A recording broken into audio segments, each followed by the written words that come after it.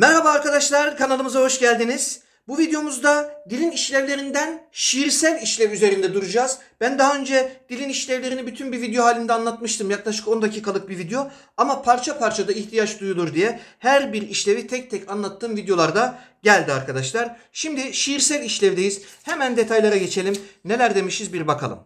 Evet, şiirsel işlev dilin manzum ve manzumelerde kullanılan işlevidir. Yani arkadaşlar şiir şeklinde yazılmış eserlerde kullanılan işlevidir. Artık demir almak günü gelmişse zamandan, meçhule giden bir gemi kalkar bu limandan. Yahya Kemal'in Sessiz Gemi diye mükemmel bir şiiri var. O şiirden yapılmış bir alıntı arkadaşlar bu. Unutmak kolay mı deme, unutursun mihribanım, oğlun kızın olsun hele, unutursun mihribanım. Bu da arkadaşlar edebiyatımızın çok önemli isimlerinden birisi olan Abdurrahim Karakoç'un Mihriban şiirinden bir alıntı. Dolayısıyla bu da şiirsel işlevin bir örneğidir. Hemen geçelim diğer örneğimize. İnsan bu su misali kıvrım kıvrım akar ya.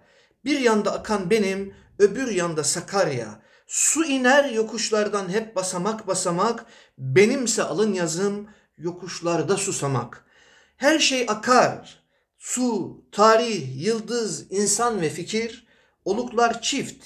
Birinden nur akar, birinden kir. Arkadaşlar bu da Necip Fazıl'ın Sakarya türküsünden alınmış olan bir şiir arkadaşlar. Burada yukarıdaki mısralarda dil hangi işlevde kullanılmıştır deyince siz hemen şiirsel işlevde cevabını yapıştıracaksınız gençler. Evet, şiirsel işlevle ilgili söyleyeceklerim bu kadardı. Arkadaşlar çalışmalarınızda başarılar diliyorum. Kolay gelsin.